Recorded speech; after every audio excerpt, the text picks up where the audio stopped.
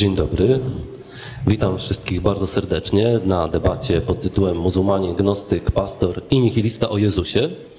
No i myślę, że już nasz e, tytuł tego spotkania dosyć precyzyjnie zakreśla e, temat i to, co tutaj za chwilę będzie się działo. Mianowicie czworo naszych zaproszonych gości, którzy reprezentują odmienne poglądy, przedstawi swój punkt widzenia na osobę Jezusa Chrystusa. No jak myślę, wszyscy chyba zgodzimy się z tym, że Jezus jest postacią kluczową no nie tylko dla religii, jako że stał się tym kamieniem węgielnym chrześcijaństwa, ale także Jezus jest e, istotny z punktu widzenia no, kultury, myślę, całego świata. Dlatego też tak sądzę, warto jest się spotykać, warto o tym rozmawiać i warto e, pytać o to, jak inni, jak inne grupy, inne religie, inne formy duchowości do osoby Jezusa Chrystusa się odnoszą. I stąd też y, nieprzypadkowy jest y, wybór gości, ponieważ każdy z naszych gości reprezentuje odmienny punkt widzenia. I tak na początek chciałbym przywitać pana Jerzego Rycharskiego, który przyjechał do nas aż e, z Kalisza i który reprezentuje Kościół Boży w Chrystusie. I pan Jerzy reprezentuje stanowisko, że Jezus Chrystus jest Bogiem. Chciałbym także przywitać panią Annę Schmidt z Międzynarodowej Szkoły Złotego Różokrzyża.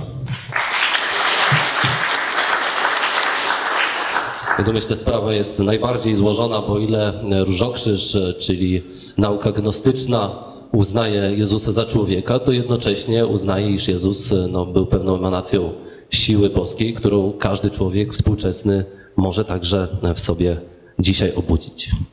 Witam również bardzo serdecznie pana doktora Alego Abi Isse, imama, dyrektora Muzułmańskiego Centrum Kulturalno-Oświatowego we Wrocławiu.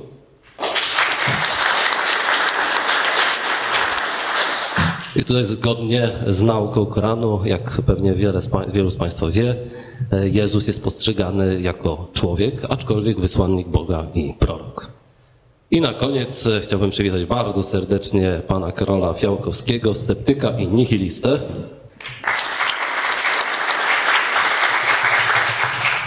Który reprezentuje stanowisko, myślę, no w najlepszym przypadku, że Jezus był zwykłą historyczną postacią, a w najskrajniejszym, że chyba w ogóle nie istniał, ale to zaraz będziemy o to pytać. Pierwsze pytanie mm, kierujemy do um, Alego Abi Issy. Pytanie podstawowe. Jak, y, skąd muzułmanie czerpią swoją wiedzę na temat Jezusa? Czy dla wyznawców islamu Nowy Testament jest w ogóle księgą objawioną, czy z niej się korzysta? Skąd wiedza o Jezusie? E, witam, bismillahirrahmanirrahim, salatu wassalam ala rasulillah ala sahbihi alim e, Otóż e, dla nas Bóg powołał 20, ponad 24 tysięcy proroków i wysłanników. Koran wtajemnicza e, na nas co do pięciu objawień, nazywa ich po imieniu. Między innymi Koran mówi, że e, dał Jezusowi Al-Injil. Al-Injil to można powiedzieć, że to jest e, Ewangelia, choć naukowo nie. Ale każda wiedza, która była przekazana komukolwiek spośród wysłanników Bożych, e, to są e, informacje, której muzułmanin ma prawo i powinien dostosować pod warunkiem, że są niesprzeczne z naukami Koranu, z definitywnymi naukami Koranu. Czyli na przykład, czyli mamy trzy sytuacje, w której informacje zawarte w Ewangelii albo w Starym Testamencie są zgodne lub sprzeczne, lub e, informacjami, o których Koran w ogóle nie wspomina, to wówczas muzułmanin, jeżeli są sprzeczne, to ma obowiązek ich odrzucać, jeżeli one są zgodne, to ma obowiązek ich przyjąć, jeżeli w Ewangelii lub w Starym Testamencie e, są jakieś nowe informacje, wokół których które są zgodne z naturą monoteizmu, a Koran o nich nic nie mówi, to powinien do nich się dostosować. A jak muzułmańskie teksty przedstawiają osobę Jezusa? Kim właściwie Jezus jest dla muzułmanina? E, To znaczy, no, e, najważniejsze informacje na temat e, Jezusie e, to, mm, to czerpiemy głównie z Koranu ze względu na to, że to są główne informacje, które są obiektem sprzeczności między, Starym, między Nowym Testamentem a Koranem. E, W Nowym, Testament, e, w Nowym Testamencie e, osoba Jezusa jest osoba e, e, e, Pozostawiam tą naturę Jezusa e, mojemu koledze tutaj, żeby on na ten temat wypowiadał. W każdym razie ta natura jest e, sprzeczna z e, naturą Jezusa wspomniana w Koranie. Dlatego e, e, była taka sytuacja, kiedy około 80, e, księ, e, oko- e, 80 kapłanów e, jemenskich, chrześcijańskich jemenskich przyjechały do Mohameda, chcieli zbadać, co Mohamed opowiada o natury Jezusie. I właściwie ci 80, 80 paru kapłanów przyjechali do Medyny, czyli do miejsca, w którym prorok e, mieszkał. I właściwie oni przez około dwóch miesięcy mieszkali w jego meczetu, w meczecie Al-Medina e, na dzień dzisiejszy. I właściwie odbywała się wówczas debata między prorokiem z jednej strony i tych 84 kilka, nie wiem ile, e, wie- e, 80 kilka kapłanów, którzy każdy z nich praktycznie, tak jak niektórzy egzegeci muzułmańscy mówią, że każdy z nich reprezentował jakąś inną szkołę chrześcijańską w Jemenie. Po, po tym spotkaniu zostały objawione, e, została objawiona sura e, trzecia w Koranie, która zawiera właściwie tak jakby, jakby, e, jakby, jakby komentarz tego, co się działo między Mohammedem a tymi 80 paroma kapłanami. No i między innymi Koran mówi do, do, do ludu księgi, do chrześcijan, nie mówcie, że On jest jeden w Czech. Mówi do nich, nie mówcie, że On jest Bogiem. Mówi do nich, zaprawdę Mesjasz, Syn Marii, jest jedynie posłancem, przed którym przeminęło wielu posłanców, a jego matka była kobietą prawowierna. E, W surze też trzeciej, w tej samej surze, e, e, Koran mówi, a my jak mówimy muzułmanie, kiedy mówimy, że jest jakiś werset w Koranie, to uważamy, że ten werset został objawiony od Boga, czyli, czyli wyrazy, słowa, wyrażenia zawarte w tym wersecie, to one są wyrażeniami wypowiadanymi przez Boga, które zostały Muhammedowi przekazane za pośrednictwem anioła Gabriela i dlatego mówimy, Bóg powiedział, Zaprawdę przykład Jezusa u Allaha jest podobny do Adama, którego stworzył z gliny, a, po, a potem rzekł do niego bądź i był. No i dlatego to jest natura Jezusa dla nas. Jezus był jeden spośród e, 24 tysięcy proroków i wysłanników, jednak Koran wyróżnia pięć spośród jego mężów e, monoteizmu i mówi Koran, że e, ulul azmi min czyli najważniejsze przesłania monoteizmu nosili pięć kapłani. E, Noe, Abraham, Mojżesz, Jezus i Mohammed. I on w islamie uważamy, że najważniejsze prorocy albo nie wolno nam powiedzieć najważniejsze prorocy, bo sura krowa, czyli sura druga, mówi, że wszyscy prorocy, że Bóg uczynił wszystkim prorokom i wysłannikom równym dla wierzących. I dla, ale w innym wersecie Bóg powiedział, że e, pozwolę sobie powiedzieć jako osoba, która ma tyle problemów z językiem polskim, że zawiasowy albo najważniejsze przełomowych e, przesłań monoteizmu były pięć. To też y, mamy takie, w Koranie pojawia się takie określenia Jezusa, które są zbieżne z tym, co spotykamy w Nowym Testamencie, bo mówi się na przykład, że Jezus jest y, Mesjaszem, że Jezus jest Słowem, które Bóg złożył Marii i duchem pochodzącym od Boga. I jak wobec tego należałoby rozumieć te określenia w stosunku do Jezusa? Jeśli chodzi o Mesjasz, czyli Al-Masih, w języku hebrajskim Masih. E, Masih W języku arabskim, e, hebrajskim znaczy, oznacza to samo, aramejskim też oznacza to samo, te języki są pokrewne. E, Masih to oznacza w języku arabskim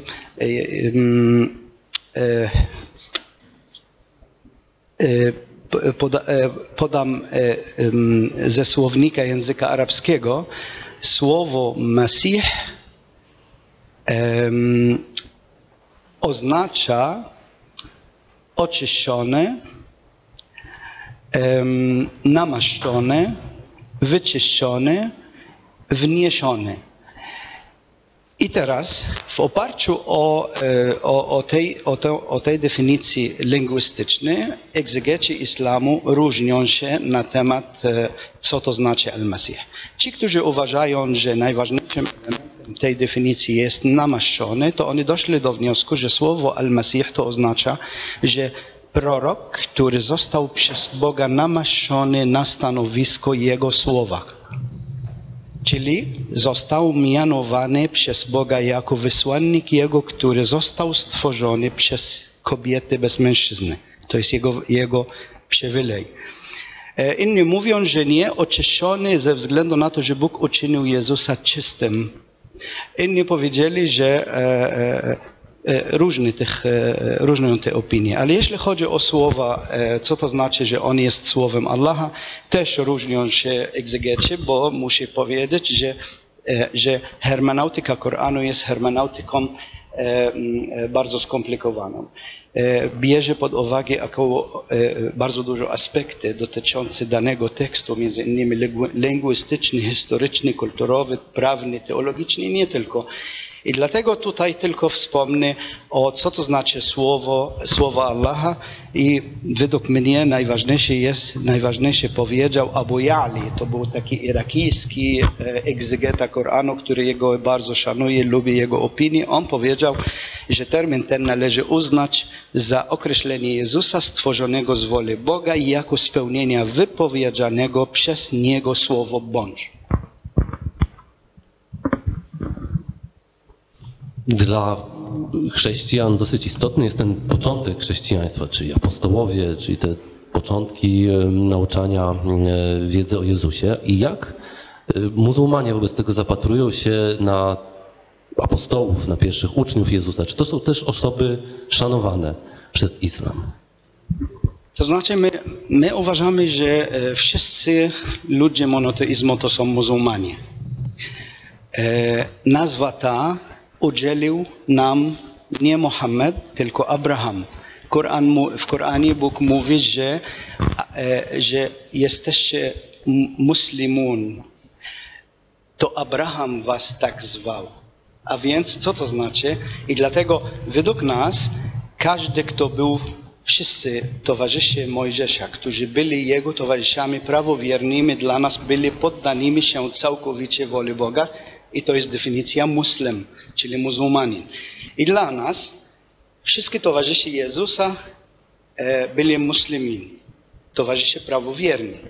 Wszyscy towarzysze Mohameda byli prawo, e, muslimin. Wszyscy towarzysze e, Abrahama i tak dalej. Jednak Koran uważa, że spośród nich są muslimun ci, którzy nie popełnili te błędy, o którym e, sura trzecia mówi. Czyli Bóg jest jeden w trzech, Bóg jest, e, Jezus jest Bogiem, e, Maria, Maria jest Matką Boską i tak dalej. Koran uważa, że to są defekty, które powodują, że chrześcijaństwo w trzecim wieku podzieliło się na dwie grupy.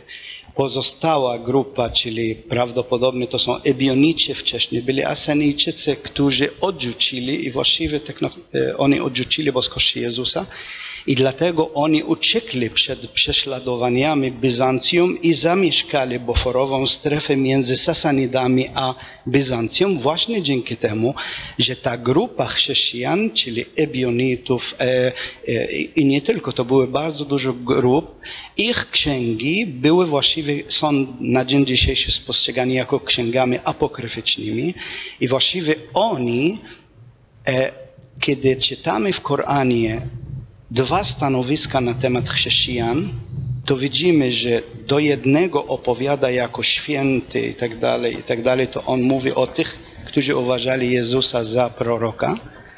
I o problemie, czyli kiedy krytykuje, to krytykuje doktrynalny.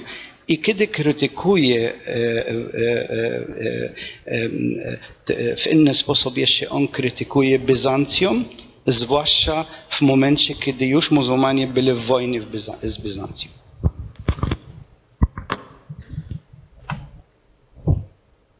Chciałbym zadać jeszcze pytanie o samą Ewangelię, bo gdzieś wyczyliśmy, wy, wyszliśmy od tego na samym początku. Natomiast y, Koran również wspomina Ewangelię i mówi o tym, że Ewangelia jest księgą świętą, prawda? Są teksty, które to wskazują. Więc czy mówiąc o tej Ewangelii, Koran ma na myśli ten Nowy Testament, y, który mamy gdzieś tutaj przed sobą, czy ma na myśli jakieś inne teksty? O czym mówi Koran wtedy? Y, y, Ja, ja oczywiście nie potrafię odpowiadać na to pytanie w sposób naukowy i będę spekulował. Otóż mm, Koran, e, Bóg mówi, że mm, daliśmy Mojżeszowi Tory, daliśmy Dawidowi Zabór, czyli psalmy, daliśmy Abrahamowi e, Suhuf, czyli zwoje i daliśmy e, Jezusowi Al-Injil. Al-Injil to jest dobro, które przelał się. W języku arabskim słowo Injil, który po, e, w bardzo podobny sposób oznacza w aramejskim i w hebrajskim. Injil to oznacza dobro albo miłosierdzie, które przelało się. Czyli Bóg wlał na ludzi swoje miłosierdzie. My to tak rozumiemy słowo Al-Injil, księga, nazwy księga, którą Bóg objawił Jezusowi. Otóż uważamy, że e, nie uważamy, bo mm, e, ja uważam, że jest jakaś księga, z, z której każdy z autorów synoptycznych Ewangelii cokolwiek wziął. E, dla, e, czasami te rzeczy, które oni e, byli, e, e, e, byli zgodni, są zgodne z Koranem.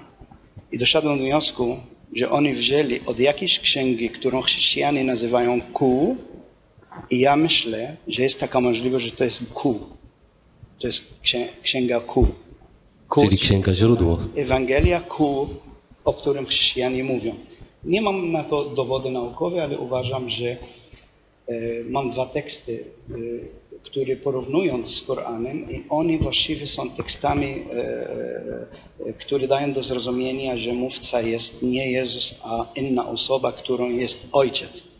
I dla nas w duchu Koranu i Tory mówca jest w księgach objawionych jest Ojciec, nie, nie Jezus, nie Syn, nie Mohamed, nie Mojżesz. I dlatego, e, em, dlatego my, ja, e, my uważamy, że Ewangelie, te cztery Ewangelie, czyli według, Mar, według świętego Marka, te, Mateusza, Łukasza i Jana, to są to nie są e, księgi, które zostały objawione przez Boga, tylko to są księgi, które zostały opisane przez apostołów, którzy przyszli po apostołów Jezusa. Bo najwcześniej e, powstały to według e, świętego Jana, to nawet nie za te, za te czasy, tylko później. No, w związku z tym uważam, że Ewangelia na dzień dzisiejszy, który posiadamy albo posiadają chrześcijanie, to jest księga, która opisuje życie Mesjasza, opisa e, e, e, słowami jego uczniów, chyba że oni cytują, że Jezus mówi, Kafarnaum, idziecie wszyscy do piekla. No, wiadomo o tym, że Jezus mówi, oni cytują, ale oni czasami mówią, że Jezus robił, Jezus, a więc to jest dla nas sira. Sira to jest historia proroka albo historia życia Mesjasa opisana i, e, e, słowami jego apostołów. Księga objawiona od Boga, nie wiem co to jest dla chrześcijan, ale wydaje mi się, że ona mówi w duchu Tory i Koranu. Bardzo dziękuję. Teraz y, głos przekazujemy Karolowi Fiałkowskiemu.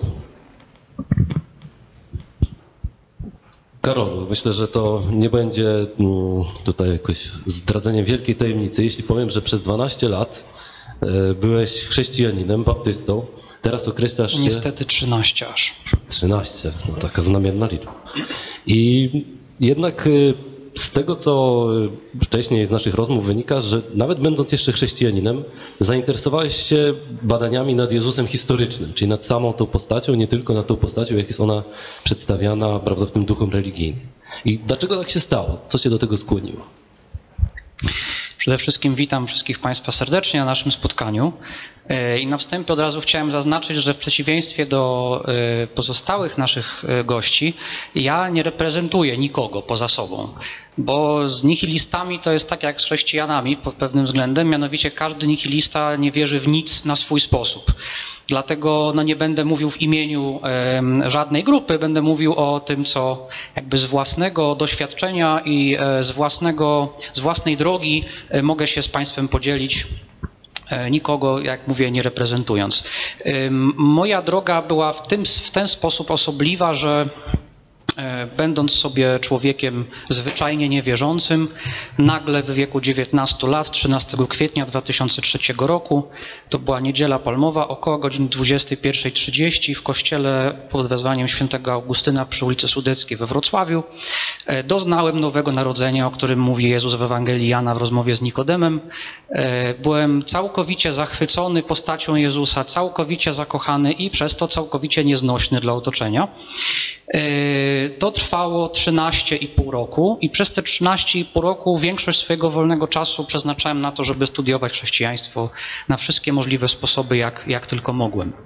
Dlaczego tak ważny był dla mnie od zawsze Jezus historyczny i to, co można było o Jezusie powiedzieć ze źródeł historycznych.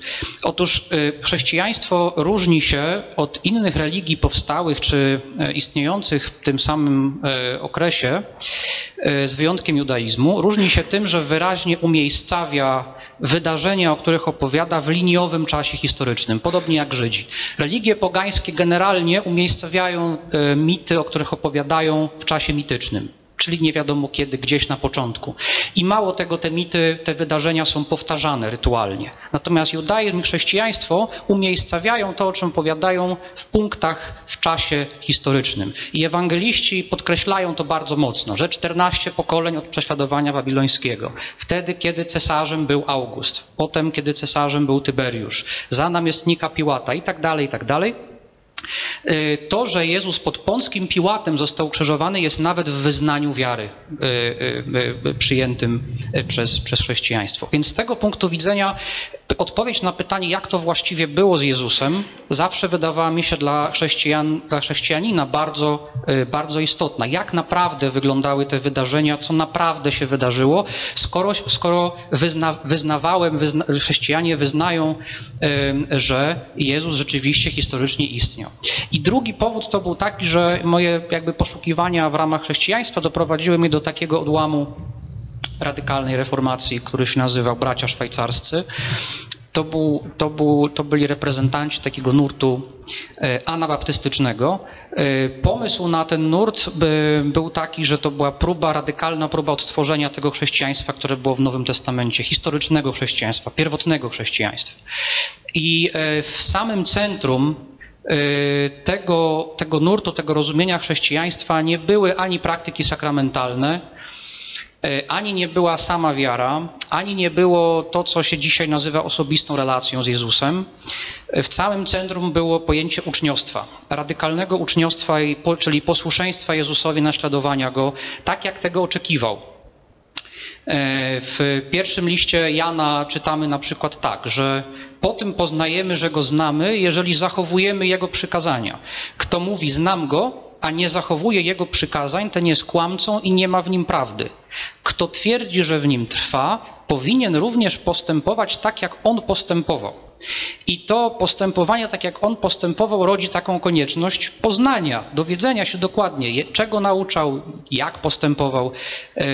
I z tego punktu widzenia, i nie chodzi o postać e, literacką, nie chodzi o postać biblijną, chodzi o prawdziwego, konkretnego, historycznego, żywego, prawda, ukrzyżowanego i zmartwychwstałego Jezusa historii. Poznanie go z tego punktu widzenia było e, dlatego bardzo dla mnie ważne.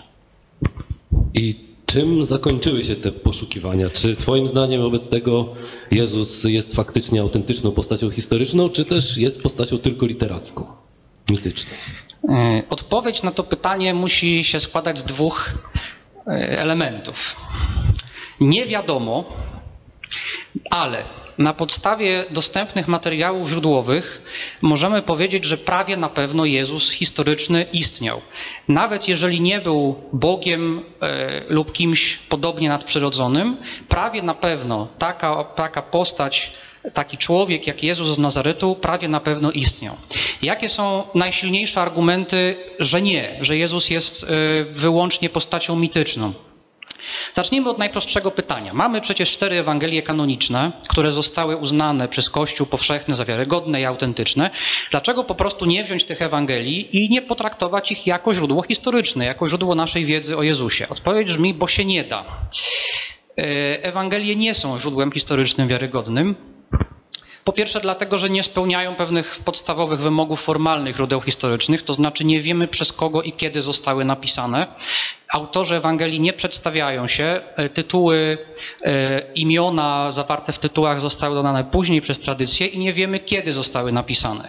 To znaczy, że nie jesteśmy w stanie w żaden sposób stwierdzić, jaki jest związek, bliskość, odległość w czasie, przestrzeni, w relacjach pomiędzy autorami Ewangelii a wydarzeniami, które opisują.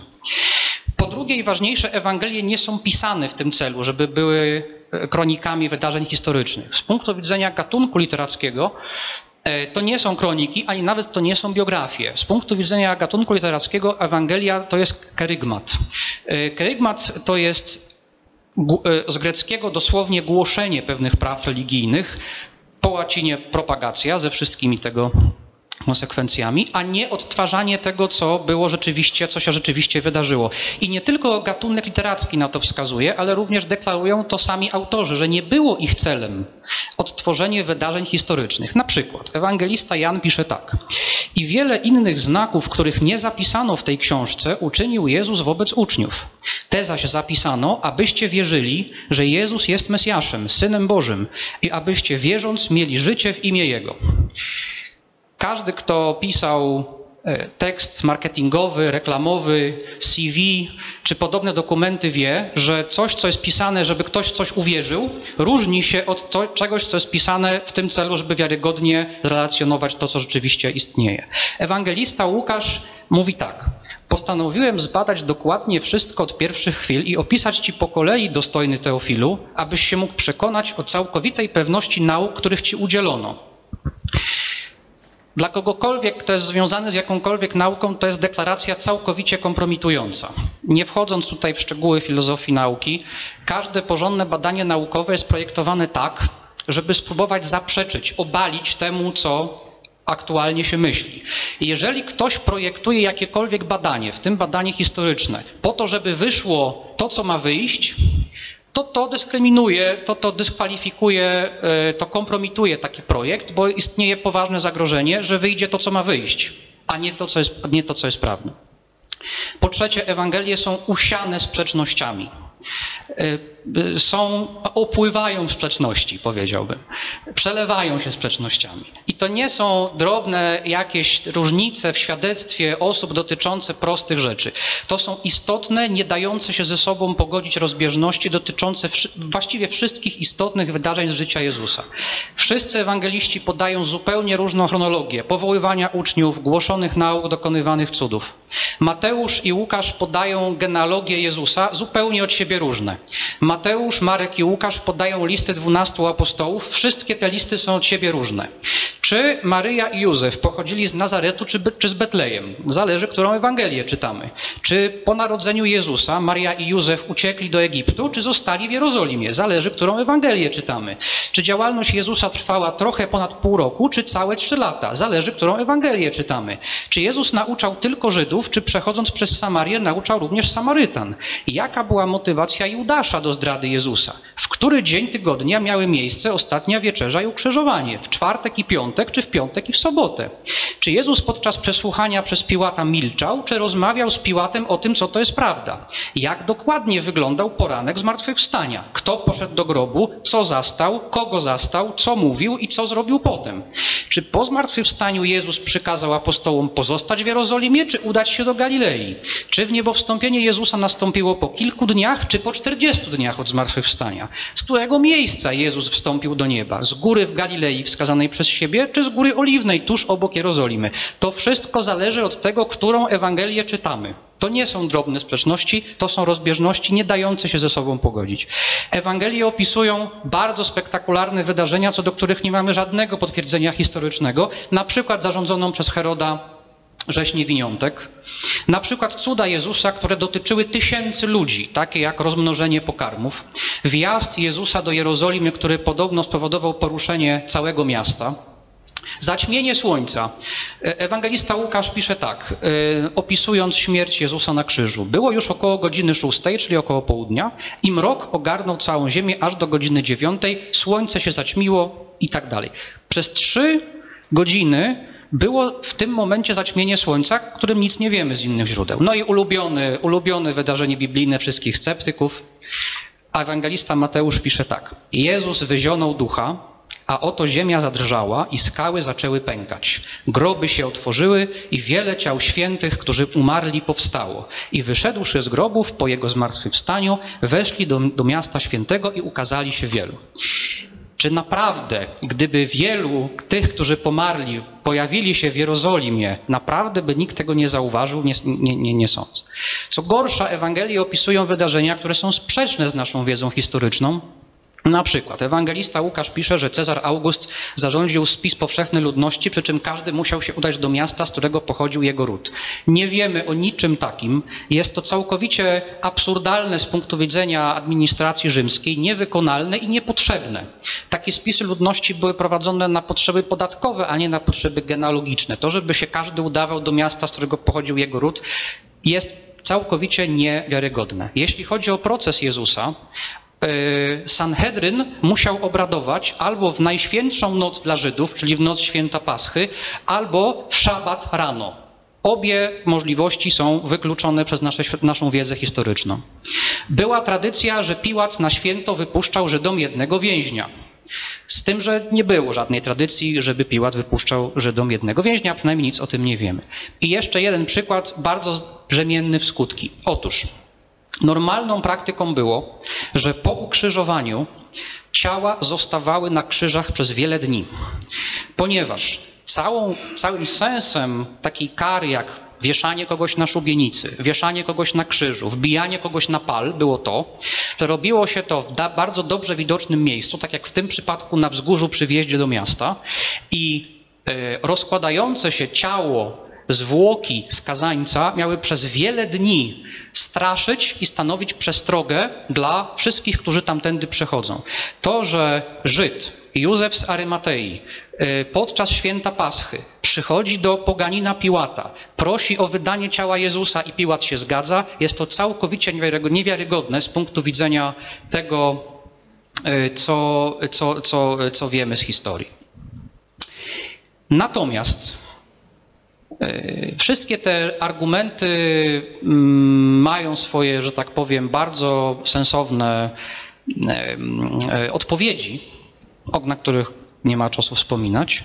Więc powiem, dlaczego wydaje mi się, że prawie na pewno ktoś taki jak Jezus historyczny istniał. Po pierwsze, przeciwnicy chrześcijaństwa i przeciwnicy Jezusa wspominają o Jezusie. Na przykład Historyk rzymski Tacyt, pisząc o czasach Nerona i pisząc o pożarze Rzymu, e, napisał to, co wiemy o, o, tym wydarzeniu, że Neron, oskarżany e, o podpalenie Rzymu, oskarżył, znalazł sobie bardzo wygodnego kozła ofiarnego w osobach chrześcijan, których i tak nikt nie lubił. E, I Tacyt pisze o chrześcijanach tak. Skazał ich na wymyślne tortury, tych, których i tak nienawidzono z powodu ich okropieństw i których lud nazywał chrześcijanami. Nazwa ta pochodzi od Chrystusa. Człowieka tego zapanowania Tyberiusza skazał na śmierć prokurator Poncjusz Piłat. Zdławiony na krótki czas, ten obrzydliwy zabobon odżył na nowo i to nie tylko w Judei, gdzie to zło się narodziło, lecz również i w Rzymie, dokąd wszystko co najgorsze i najbardziej haniebne w świecie spływa i znajduje licznych zwolenników. Co wynika z tego sympatycznego tekstu? Po pierwsze, z trudem można nazwać Tacyta sympatykiem chrześcijaństwa, a mimo to pisze o Chrystusie jako o osobie, która historycznie istniała. Również Żydzi w Talmudzie babilońskim wspominają o Jezusie, wspominają go tak. w przeddzień Paschy powieszono Jezusa Nazarejczyka, ponieważ praktykował magię, uwiódł Izraela i poprowadził lud na błędne drogi. Jeżeli ktoś naprawdę chciał skrytykować chrześcijaństwo, a Jezus byłby wymyślony przez chrześcijan, to najprościej byłoby ten mit próbować obalić. Natomiast przeciwnicy chrześcijaństwa krytykują Jezusa jako postać historyczną, tylko dodają do niego opowieści, które mają go skompromitować. Karolu, bardzo Ci dziękuję. Myślę, że jeszcze wrócimy do tych, do tych kwestii. A teraz głos przekazujemy Jerzemu. Pytanie główne i podstawowe. W obliczu tych y, wcześniejszych wypowiedzi, na jakiej podstawie wobec tego mm, protestanci, chrześcijanie uważają, że Jezus y, jest Bogiem? Czy w ogóle Biblia, Nowy Testament jako taka, daje nam też y, wskazówki, które pozwalają nam stwierdzić, że jednak Jezus nie tylko był prawdziwą historyczną postacią, ale także jest Bogiem? Tak, może rozpocznę od, tej, od tego miejsca, że, nie, że Nowy Testament mówi nam oczywiście o tym, że Jezus jest Bogiem, ale że Nowy Testament właściwie opiera się bardzo mocno o Stary. I kiedy mówimy na temat Jezusa, to mówimy na temat Jezusa, który w Starym Testamencie jest zapowiadany jako ten, który ma przyjść. Mamy szereg różnych słów proroczych w księdze Izajasza i wielu innych księgach, w których możemy przeczytać o tym, kim on ma być i gdzie on będzie mieszkał, e, kim on naprawdę będzie. Więc czytając to, możemy sprawdzić, czy to się wypełniło, wypełniło w Nowym Testamencie. I okazuje się, że tak, że to się wypełniło w Nowym Testamencie. Mamy, mamy na to dowody. Oczywiście ja nie będę dzisiaj posługiwał się tymi do końca dowodami, e, ale chcę tylko powiedzieć, że jest pewna chronologia tego, że był zapowiadany i urodził się. Tak? E, był, było, był opisany i, i taki właśnie on był. I później możemy zobaczyć już, i to jest tylko, tylko wspominam o tym, później, i później możemy zobaczyć w Nowym Testamencie. Po pierwsze możemy zobaczyć, że no, w Ewangelii Jana na przykład to, że jest napisane o tym, że na początku było Słowo, Słowo było Boga, Bogiem było ono Słowo i, i, i później jest opisane, o kim jest mowa, że mowa jest o Jezusie Chrystusie. Więc bardzo wyraźny tekst e, z Ewangelii Jana mówi nam o tym, że On był Bogiem, ale później możemy zobaczyć e, E, też to, że reakcja Żydów była niezwykła, bo kiedy, mm, kiedy on przypisywał sobie to, że jest synem Bożym, to oczywiście to było e, postrzegane jak coś, jako coś bardzo negatywnego i niewłaściwego i w pewnym momencie Jezus przychodzi do człowieka, właściwie tego człowieka przynoszą do niego i on, e, to był człowiek chory, sparaliżowany, on nie tylko, mu, nie tylko go uzdrawia, ale mu przebacza grzechy i mówi, przebaczone są ci grzechy. I wtedy e, jest oczywiście ogromne oburzenie faryzeuszów i nauczycieli zakonu. Tylko Bóg może przebaczyć grzechy. Jezus jednak to czyni i jednak wskazuje w ten sposób na siebie, że jest tym, który jest Synem Bożym. I oczywiście e, w listach, e, później możemy zobaczyć w listach, e, w listach Pawła i nie tylko Pawła, możemy zobaczyć, że Jezus jest tym, którego uznali, rozpoznali i uznali Jego uczniowie i Jego naśladowcy. A więc nie tylko był tym, który, o, o którym słowo w Starym Testamencie mówi, także sam tekst mówi, Jezus przyznaje się do tego, że jest Synem Bożym, mówi o tym, ale także jego uczniowie rozpoznają go i też jego oponenci go rozpoznają, bo w końcu jest zabity z jakiego powodu? Jest zabity z tego powodu, że nazywa się Synem Bożym i Mesjaszem i że jest królem żydowskim. Dlatego jest zabity. I, I, dlatego wierzymy w to, yy, że Nowy Testament mówi nam o tym, kim jest Jezus i że jest Synem Bożym. I że jest tym, który przebacza grzechy i, i przynosi prawdziwe życie dla tych, którzy go proszą. Czy w nauczaniu Kościoła, który reprezentujesz, mhm. a nauczaniu, które reprezentuje Kościół no, najbardziej znany w Polsce, Kościół rzymskokatolicki, są jakieś różnice w odniesieniu właśnie do Jezusa?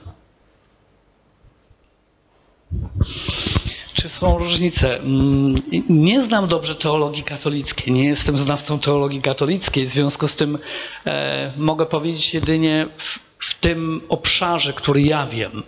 Według mnie nie ma różnicy, jeśli chodzi o kwestię boskości Jezusa.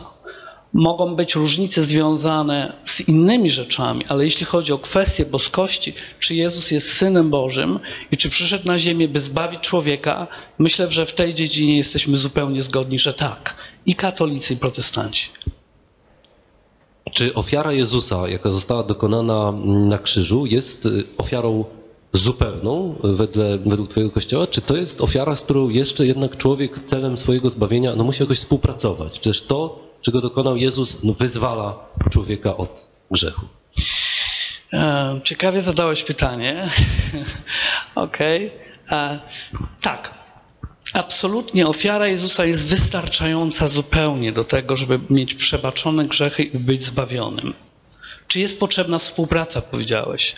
Tak, współpraca jest potrzebna w taki sposób, żeby to przyjąć. Nie mogę nic dodać do tej ofiary, bo nie mogę, nie jestem w stanie, ona jest doskonała. Jeśli on jest synem Bożym, to znaczy, że to, to także mówi o tym, że jako syn Boży uczynił coś doskonałego, dlatego że jest doskonały, a więc ta ofiara jest doskonałą ofiarą, kiedy on e, wziął na siebie cały grzech, całą winę człowieka, nas, każdego z nas na siebie i został ukarany, przyjął całą karę na siebie. W związku z tym jego dzieło na krzyżu jest absolutnie doskonałym dziełem, z którego my możemy korzystać. Oczywiście przez wiarę, jeśli tylko chcemy, jeśli tylko przyjdziemy do niego. Natomiast y, w Kościele rzymskokatolickim y, mamy też mszę świętą, która jest niejako powtórzeniem prawda, tej, tej ofiary. W kościele, mm, który reprezentujesz, no tego już nie ma, prawda? Protestanci uważają to za bardziej jakiś symbol, za nabożeństwo. I jak, dlaczego nie ma mszy świętej? Dlaczego w ogóle by zrezygnowano z powtarzania tej ofiary Jezusa?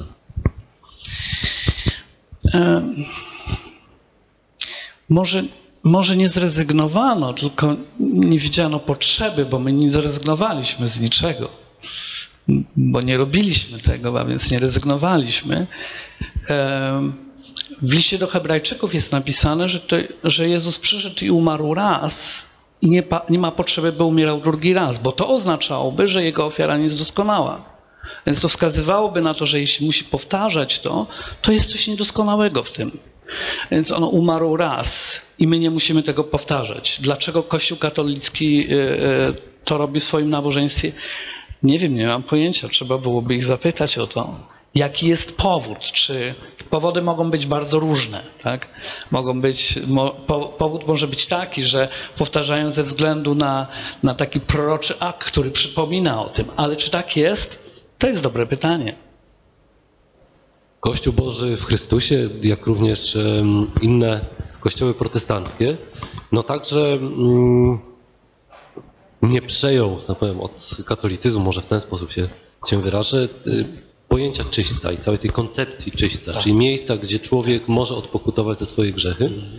I nie ma także miejsca na taką typową spowiedź uszną, bo darze to się mówi, czyli po prostu kiedy spowiadamy się księdzu czy jakiemuś innemu kapłanowi, wyznajemy mu grzechy i on nam w imieniu te, Jezusa te grzechy odpuszcza. I czy także jakby te dwie, dwa elementy, czyli nieuznawanie koncepcji czyśca i nieuznawanie e, sakramentu um, pokuty, ma również coś wspólnego z tym, że Jezus jest e, tą postacią, która dokonała tego przebaczenia grzechów, więc człowiek już tutaj no, nie może za bardzo ingerować.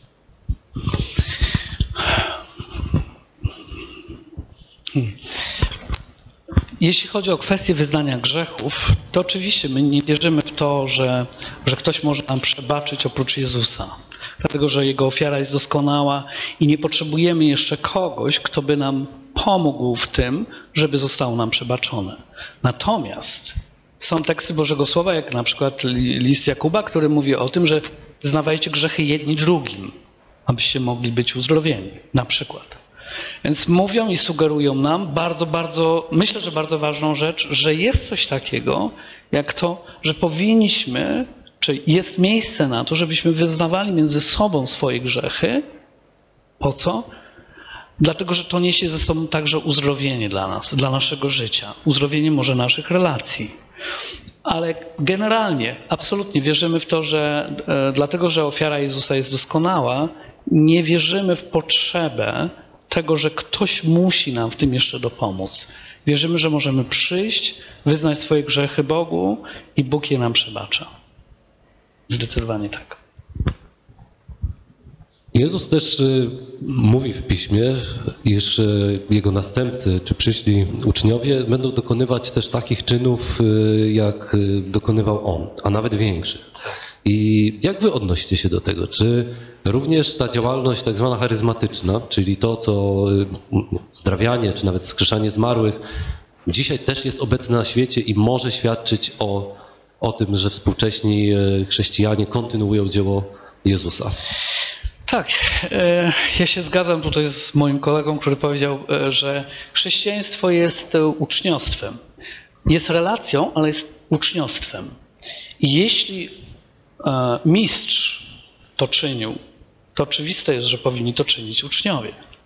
E, Jeśli Jezus uzdrawiał, to i my powinniśmy być tymi, którzy przynoszą uzdrowienie dla ludzi i ich uzdrawiają.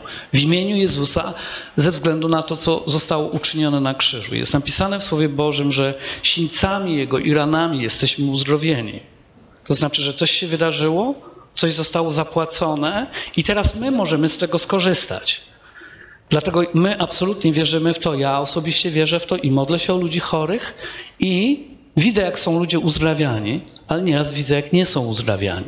Nie mam odpowiedzi na wszystkie pytania w tej dziedzinie, ale praktykujemy to i cieszymy się tym, że widzimy, jak ludzie są uzdrawiani. W, w ostatnim czasie mogliśmy oglądać w naszej społeczności, jak ludzie są uzdrawiani. Widzieliśmy chłopca małego, który był zupełnie głuchy. W 90, nie pamiętam ilu procentach, ale to już jest zupełna głuchota. I dzisiaj chłopiec biega i słyszy. Widzieliśmy innych ludzi, którzy byli chorzy, chorzy na raka i dzisiaj są w społeczności, są zupełnie zdrowi. A więc wierzymy w to. I oczywiście są, e, wierzymy także w to, że Bóg może zmartwychwskrzesić.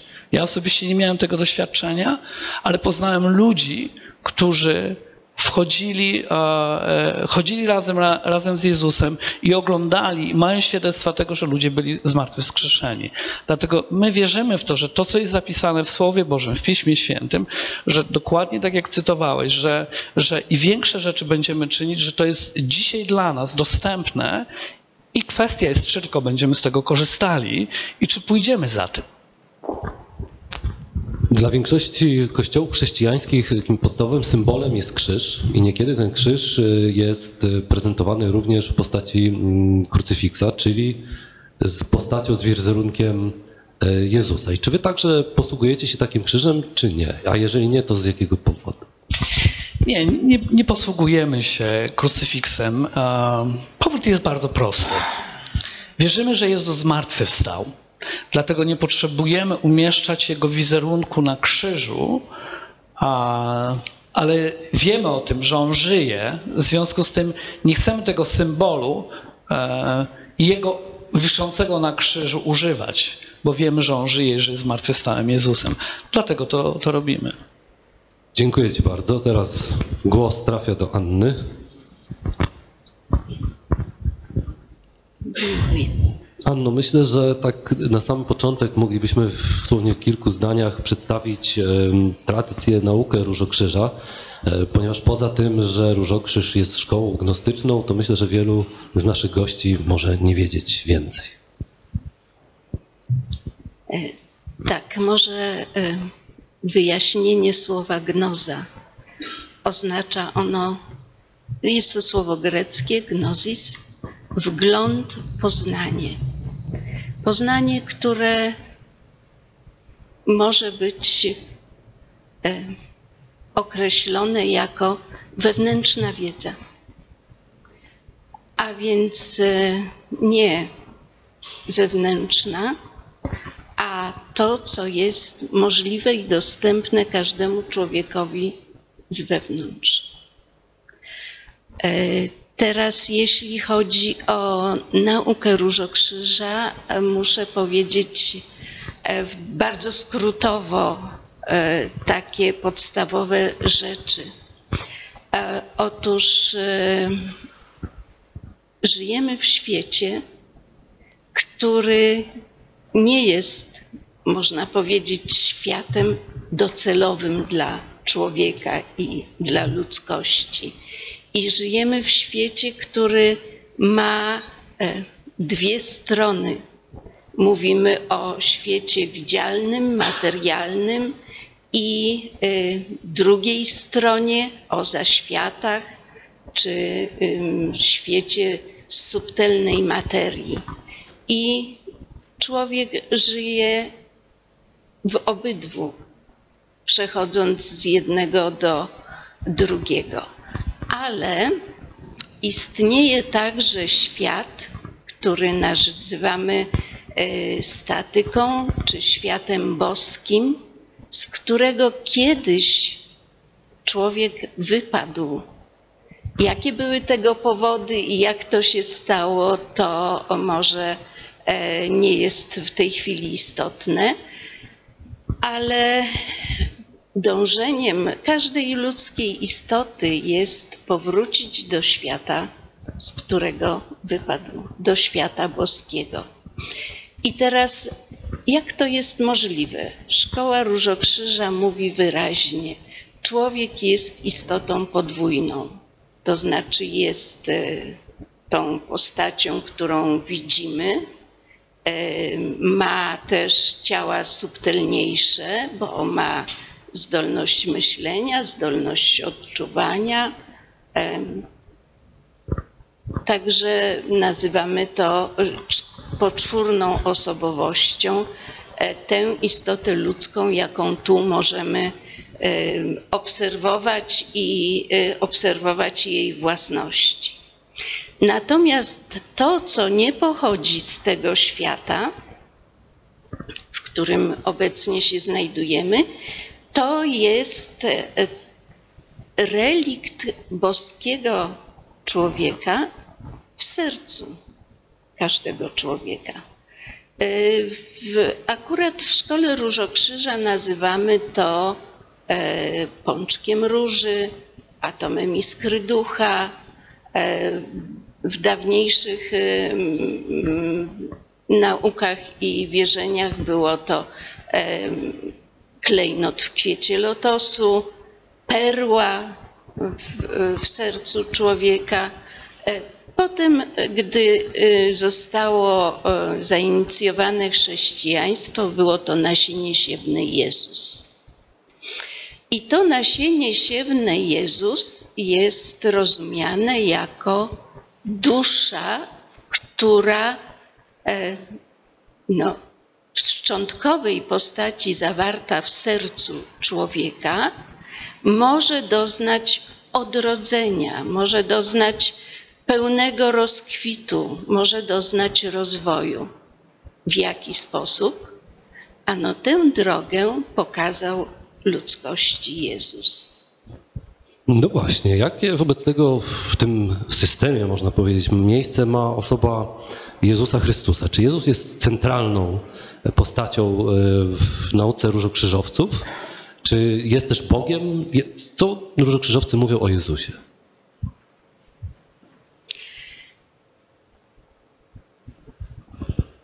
Można krótko powiedzieć tak. Jezus jest odrodzoną duszą, która jest w stanie przyjąć ducha, więc Chrystusa.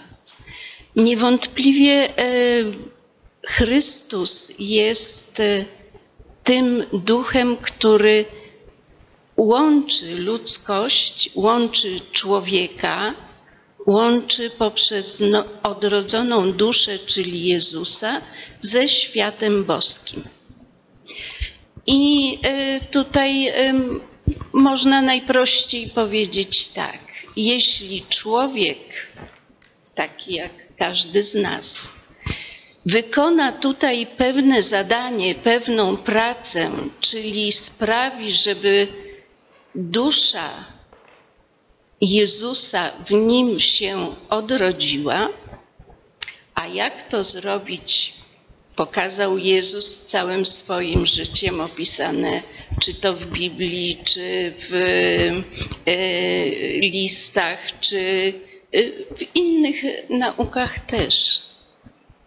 I jeśli ta odrodzona dusza jest w stanie połączyć się z duchem, czyli z Chrystusem, to znaczy to, że powróciła do boskiego świata.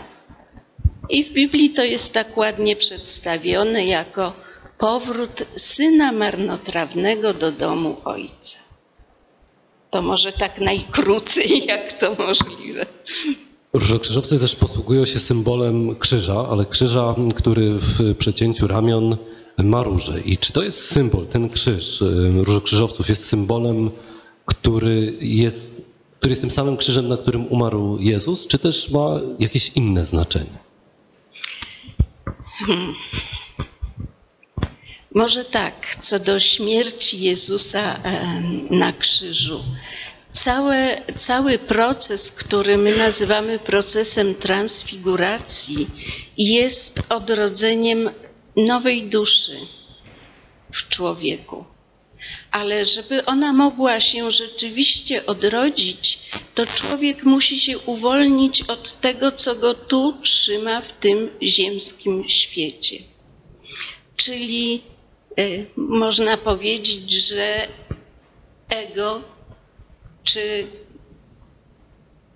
ja, czy to, co tworzy nasz rozum, e, nasz umysł, musi ulec rozwiązaniu, musi, musi zaniknąć.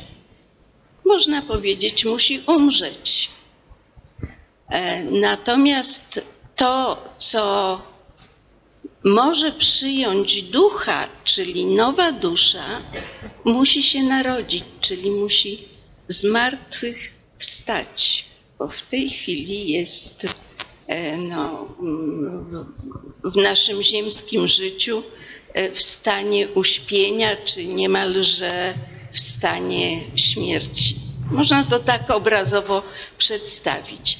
Czyli zmartwychwstanie jest odrodzeniem nowej duszy, która może przyjąć ducha, czyli może połączyć się z Chrystusem i powrócić do świata boskiego. E, Ta róża, w ogóle krzyż symbolizuje, można powiedzieć, e, belka pionowa, wpływ boskich sił, a więc wpływ sił Chrystusowych do ziemskiego pola istnienia. Pozioma belka e, symbolizuje rozprzestrzenianie tych sił czy e, ich działanie w świecie materialnym. Róża na krzyżu jest różą rozwiniętą, czyli nową duszą w pełnym już rozwoju, nową odrodzoną duszą zdolną połączyć się z duchem. Czyli symbolizuje y, istotę, która może powrócić do świata boskiego, do domu Ojca. Dziękuję bardzo.